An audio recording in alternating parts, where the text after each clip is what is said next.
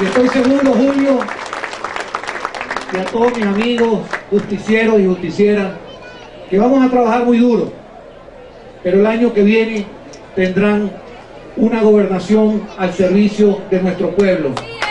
Más nunca estará al servicio de un partido político. Aragua será la primera gobernación del estado de Aragua, el primer estado de Aragua. Bueno, Carlos Ocarí que se ponga a trabajar duro. Porque tengo que decirle, no, tengo que decirlo también.